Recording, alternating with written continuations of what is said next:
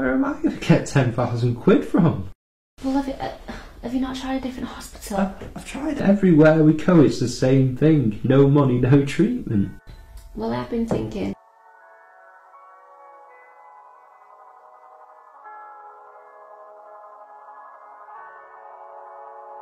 Mr. C, the, the gangster, Mr. C. Yeah,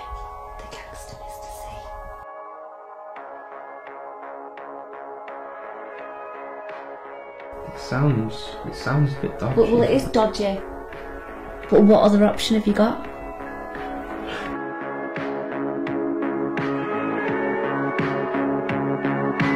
I want you to go in there and get my stuff, and I want you to get it now!